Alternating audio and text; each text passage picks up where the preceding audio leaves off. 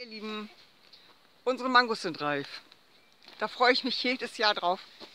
Dann habe ich für die Tiere auch was. Ja, die fallen jetzt alle vom Baum. Nach und nach. Das ist total geil. Ich liebe es. Äh, die Limetten habe ich ständig. Dann Erdbeerguaven kann ich jetzt täglich auch essen. Die sind auch fertig. Äh, die Avocados die, also unsere Sorte hier vorne, die so groß ist wie mein Kopf, die braucht noch ein bisschen. Ansonsten bin jetzt fleißig am Mangos sammeln.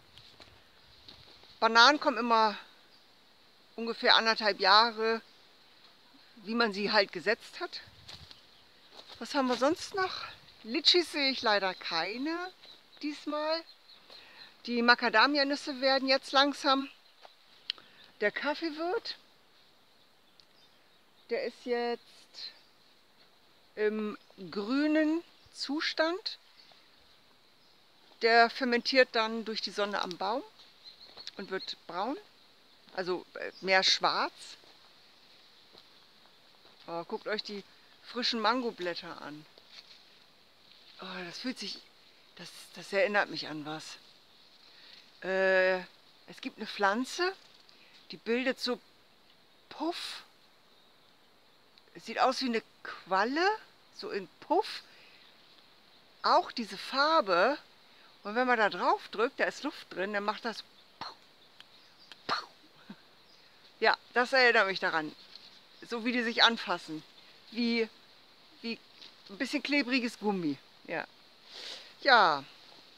Unsere Fajoa hatte Blüten da beginnt das jetzt, äh, dass sie Früchte bildet.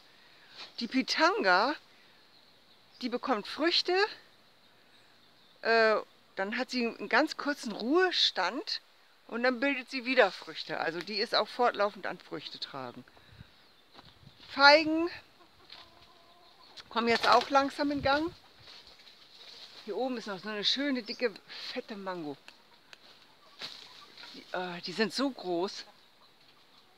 Ich habe immer Schiss, dass die Hühner hier drunter stehen und die auf den Kopf kriegen. Ja. Jetzt gehe ich in den Garten und sammle da alles auf. Gut, das wollte ich euch nur erzählen. Weil ich so glücklich bin, dass heute die schmecken aber auch. Mangosaft, geil. Göttlich. Gut. Und überall. Klock, klock, klock, klock fallen die jetzt. Bis später.